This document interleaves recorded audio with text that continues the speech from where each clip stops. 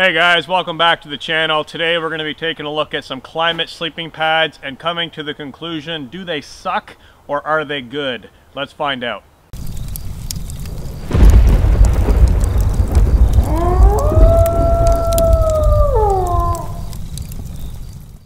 Okay guys, today is the day that I'm going to be doing the Klymit sleeping pad video and what I'm talking about is a long awaited video. So regular viewers, you know that this video has been in the making. It's taken me time to actually get the time to do it. And for new viewers, listen up because I'm going to explain what basically what's going on here. So let me talk about what I've got on the table first of all. I've got the Klymit Insulated Static V sleeping pad here. Underneath we have the Klymit Insulated, this is the Insulated Static V Luxe SL.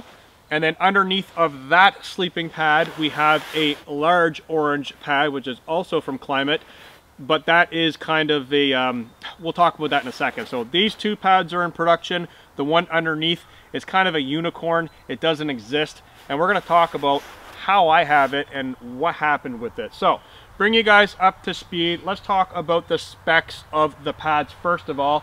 This insulated static V on the stuff sack, it claims that it is for cold weather, backpacking, tent, car, RV, side sleepers, all that good stuff. It says it has an R value of 4.4 and that's the reason for this video. So listen up, 4.4 and it's great for sleeping on your sides. It does have these nice deep V chambers and we'll talk about that in a second as well. The pad underneath of it is the insulated static V Luxe SL. It again says it's for cold weather camping. It claims to have an R value of 6.5. That's a lot of R value for this pad and a lot of disappointment as well. So it's basically the same pad as this, except it's different dimensions, it's thicker, higher R value. And then the pad underneath does not exist, okay? So I've had all of these pads for well over one year, and I've used them a lot. So, why did I choose Klymit sleeping pads? Well, the reason why is because I used to have a Exped Down Mat 5 and it had an R value of 4.1 and I've been winter camping all of my life and that sleeping pad, the down mat was absolutely awesome and I loved it.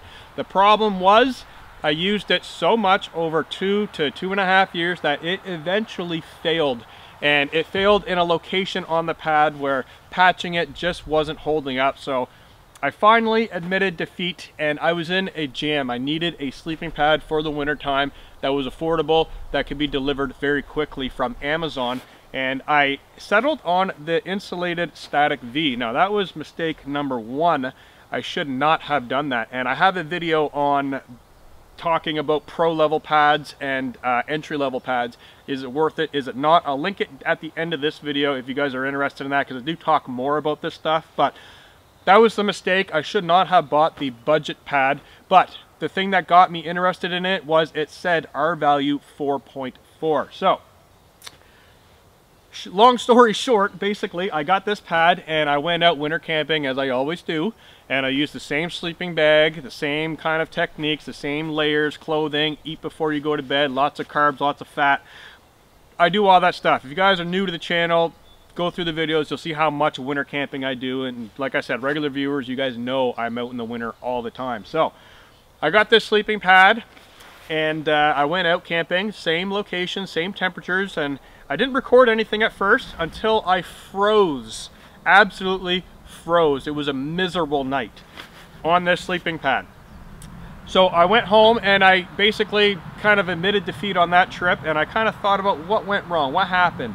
So the next trip I went out with this pad again, I froze again the same way, absolutely froze. The pad did not deflate, it stayed inflated the entire night, but I woke up absolutely freezing, shivering, and shaking uncontrollably. So the next trip that I went out, I brought a even warmer sleeping bag. So it was about minus five degrees Celsius and I was freezing. And then I went out about minus 15 degrees Celsius and I was freezing and that was in a minus 20 degree sleeping bag. So the next time I went out, I brought a minus 25 degree sleeping bag and I froze again. I could feel the cold.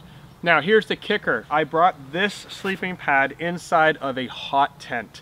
So if you guys know the channel, I go hot tenting a lot. And I had this sleeping pad inside of the hot tent and it was roasting in there. I was in a t-shirt. It was about minus 15 to minus 18 outside. The inside temperature was above 30 degrees Celsius. And I could feel the cold coming through the bottom of this sleeping pad. So let's talk about the next sleeping pad. This is the Klymit SL. What did I say it was? The V Static V Luxe SL. R value claimed at 6.5. I got this pad because that pad was cold, so I ended up saying, you know what, I'm going to get a warmer pad. So I originally contacted Klymit and I let them know my difficulties that I was having. I was cold. The pad said it was 4.4 R value. I was coming from a 4.1 R value pad. Didn't know what was going on. And they explained to me that these V chambers accept your down sleeping bag to loft in between these valleys. So the pad is constructed of peaks and valleys. The problem that I had with that is the peaks are very thick and they are quite warm, but the valleys are very, very deep. And then it's a welded construction. So you guys can see that at the bottom of the pad, it is literally one millimeter thick and it's quite a large portion all the way down the pad. It's one millimeter, just welded material, no insulation. So that has an R value of zero. Now, for those of you who know down sleeping bags and under quilts and top quilts, there is sewn through construction and then there is baffled or boxed construction, which is the same thing. Essentially having a baffled construction means your outer shell's here, your inner shell, there's a piece of fabric sewn in to create that 3D effect that the air can still travel through, but the feathers are trapped, giving you a very, very thick, uniform kind of thickness through the whole quilt or sleeping bag which keeps you very warm. A sewn through construction, basically you have a baffle and a baffle and they meet. So right where my fingers are, that would be, right here, would be zero R value. And then you go into the baffle, warm, warm, and then again it comes down to zero R value. So that's a sewn through construction. That is essentially what they've got here. So they have basically a sewn through kind of pad, except they didn't sew it, they welded it. So in the peaks, very warm, there is insulation, but down in the valleys, there are no insulation. Now, like I said, they claim that your down sleeping bag will loft and go into that chamber, therefore reducing the weight of the sleeping pad because you're going to utilize your sleeping bag to fill those chambers. Well, that doesn't exactly work. So it sounds good on paper. It doesn't really work in real life because when you're in your sleeping bag, your body is on the pad. The fabric is actually pulled tight so it doesn't really allow for all the expansion to go down into the chamber. And even if it does happen to make it down into the chamber, the slightest movement opens up that entire chamber and the cold air rushes in from above. So keep in mind that these chambers run all the way down the pad, meaning if your body is centrally located, the air can still come in from the side of the chamber and go underneath of you. Well, that is kind of the same thing as unzipping your sleeping bag. As soon as you move, you're going to create a draft or unzipping your jacket, for example. As soon as I move, I'm creating a puff of air. Now my hot air is gone and I can feel the cold air already. So that is basically what happens here. So when you're laying down on your, your sleeping pad and let's say your sleeping bag does loft into all these chambers and you move slightly, now all of that air is gone. And then you start the repetitive motion of trying to move and get warm. So that's the problem I had. Now this is an R value of 6.5 is what they claim. And let's talk about R value and how it's actually found. Okay, so there are other videos on the internet explaining this, and I'm not going to dive into it because it's not the purpose of this particular video, but R value in a sleeping pad the, the standardized method has changed over time, but basically they take a steel plate at a certain temperature and they put the sleeping pad in between and then another steel plate on top at a different temperature and they sandwich the pad. So basically you've got a top plate and a bottom plate on top of this pad and then they let it run for a certain amount of time seeing how much energy is required to basically keep the, the temperatures where they are. And that'll kind of tell you how much heat loss is going through the pad, how much energy is used to maintain that kind of R value thing. But like I said, I may do a video on that explaining it in greater detail and the actual scientific facts behind it, but that is how they depict R value. The important part that I want you to take from that is they put a steel plate, which is flat, underneath. They then put the sleeping pad in. They then put another steel pad or plate on top. They sandwich it. Well, let's look at the design of this pad because we have peaks and we have valleys. So when the plate is on top, it is not touching the valley. It's only touching the peak. So realistically, the only part that is actually touching those plates is the raised peaks. It's not actually the valley. The valley, we, we, it's not even really an argument to say that the valley has zero R value because it's literally just, there's nothing there. It's a millimeter, it's welded. So there is zero R value there. So my question is, how are they getting a huge number of R value 6.5 on a pad that has massive zero R value chambers, okay? There is no sleeping bag used for that test, it's just the pad. So they're claiming that your sleeping bag fills this in and that gives you the R value rating and it's gonna be warm. Well, I don't really believe that. And I don't believe that because I have a trusty, well-known Thermarest cell, closed cell pad here, sorry. That is foil. We all know this. This is the Thermarest Ridge Rest pad. It has an R value of 2.8. It is closed cell foam, and that is all it is. It has reflective kind of foil on top. It has these similar type of chambers, however, they're only little, little. And on the other side is the other valley. So it's not a valley valley, it's actually a valley going into a peak. So it's still, it's still thick Okay, so it doesn't go down to one millimeter. This actually stays, I want to say, probably about a centimeter thick. Even on the low spots of those valleys, it, it basically pushes out to the peak on the other side. So, one centimeter thick, about. And this has an R value of 2.8. That's really, really good for a closed cell pad of this thickness. The other Klymit pad, the one I just threw on the ground a few minutes ago, that's saying that that has an R value of 4.4 and it is about that thick and this is one centimeter thick. I would expect the, the Klymit pad to actually have an R value of about six, to be honest, when we're comparing it with this. But this comparison is kind of invalid because this is closed cell and that's a different insulation. So we can argue that, but I have a problem with the R value of these pads, like I was saying, because they actually contacted me with many emails saying this pad is much warmer um, than the other pad. This is more winter rated. However, both stuff sacks say that they're winter rated and they're good for snow. So I actually asked Klymit, I said, would you be willing to send me this sleeping pad and allow me to try it? It'll be on my channel. There's a little bit of free advertising there and um, and they ended up saying no, we're not interested. And and what they did is they they basically blamed it on my sleeping bag over and over and over again. We exchanged emails back and forth for days and days and days, and they kept blaming what I ate, what I wore, my sleeping bag. And I explained to them I've been doing this all my life. I go winter camping all the time, and I've never been cold the way I am cold on these sleeping pads. So I actually ended up purchasing this pad as well as the other insulated static V because this was an R value 6.5 and I was thinking I'm going to be a lot warmer. Well, I was really, really, really upset. So let's talk about the other static V was about $100. This was about 180 to $200. So just just round it and say we're at $300 Canadian in the two sleeping pads that I purchased. I froze on this again and I was not happy. After all that money I spent, I was not happy. So I basically had to use it for the remainder of that year because I didn't have much money left and I kind of kicked myself in the butt because not only did I buy two horrible pads for winter, but I also spent the money that I could have bought the high-end pad if I didn't dabble in these pads in the first place. So let's get that out of the way that brings us to this sleeping pad. What is it? So this is a Klymit pad. You'll notice there is no branding on it at all, top or bottom. And they always put the branding up at the head end by the valves. And that is exactly where we got the valve. So this was sent to me from Klymit after probably about a week when I said I'm not going to use them anymore.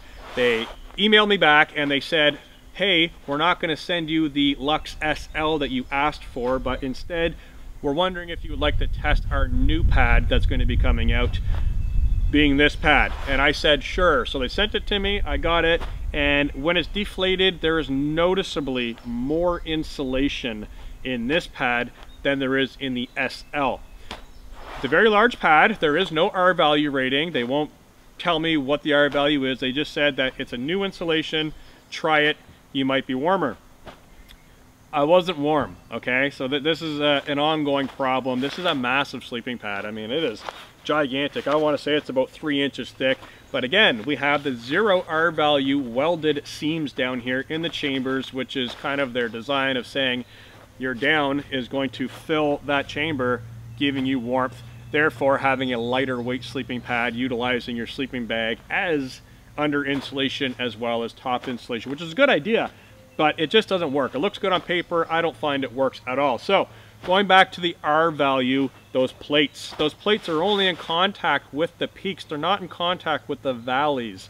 So you're actually only getting a reading of what is here. Meanwhile, they've removed all of the pad, making it lighter and introducing a cavity for your sleeping bag. But I just, I don't find it works. So what I did is I took this sleeping pad out with this sleeping pad and I was toasty warm the entire night. So I said, okay, let's minimize something. So let's take this pad out and let's bring the Luxe SL. So I did that with this, I was warm. And then I said, okay, let's take away the pad again and try the original orange Static V that I purchased, the insulated one, with this. And I was warm all night long. So this is an R value of 2.8 and the Static V insulated is 4.4 and I was warm all night.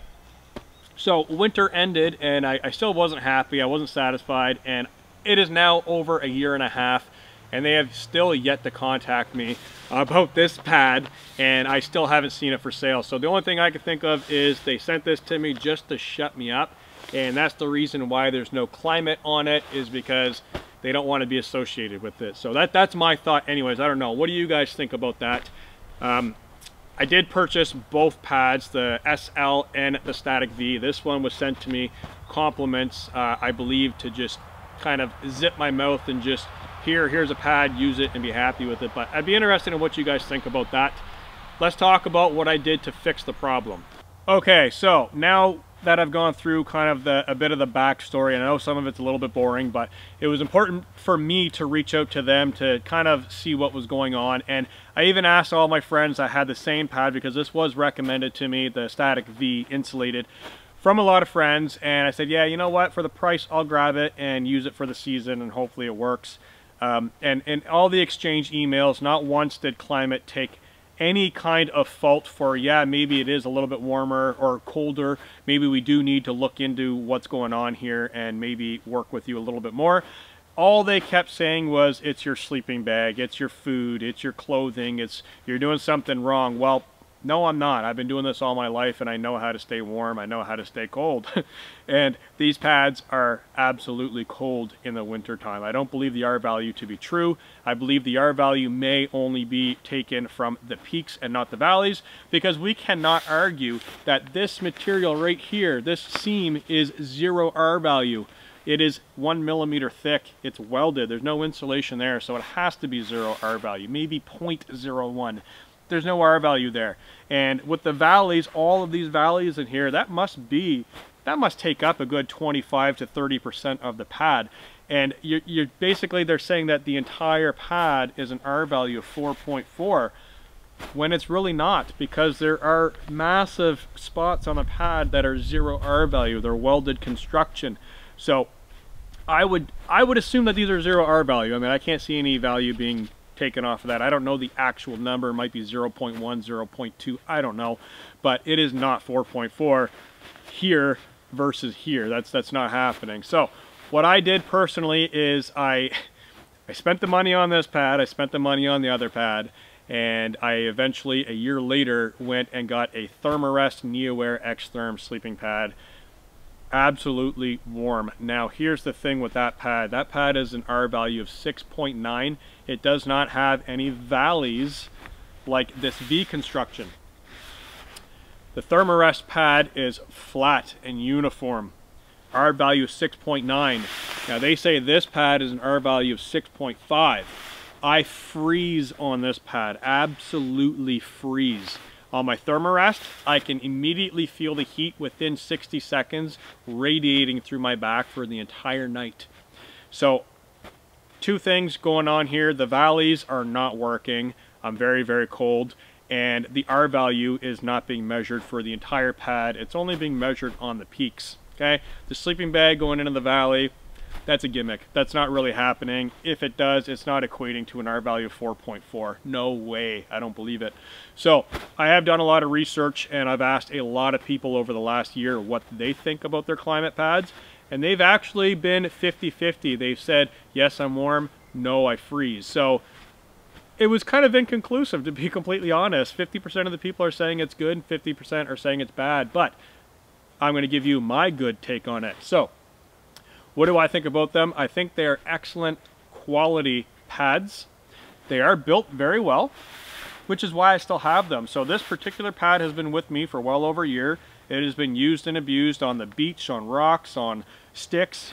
It is still going strong. It works really well. I like the valve system, the little butterfly valve, the in and out, that works really well. It packs down very small. It is fairly lightweight. It does the job. It keeps me comfortable in the summer, not in the winter. So I will not use these in the winter or cold weather because I freeze every single time.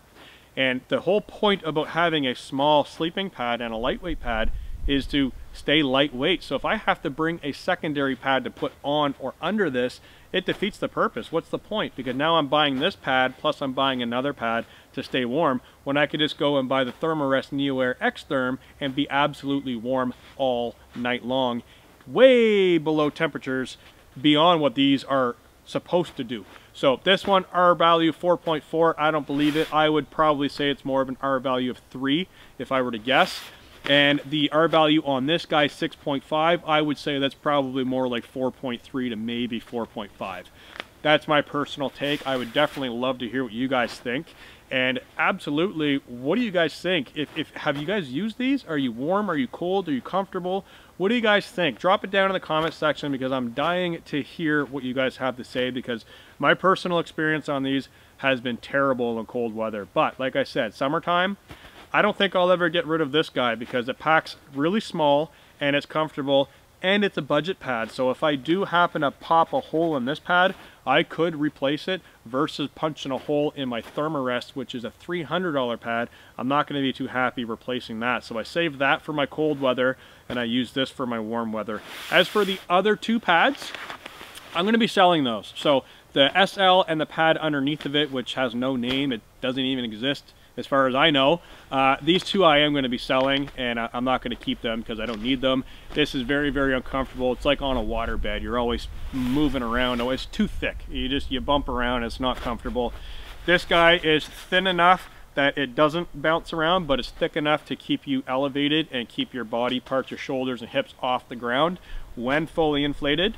Uh, but like I said, it's not good in cold weather. It just, I personally, I freeze. So here I've got my cell phone with my flashlight on. I just want to demonstrate the zero R value spots, or at least the welded spots that I'm talking about. I'm going to run the light down on the other side and you guys can see for yourself.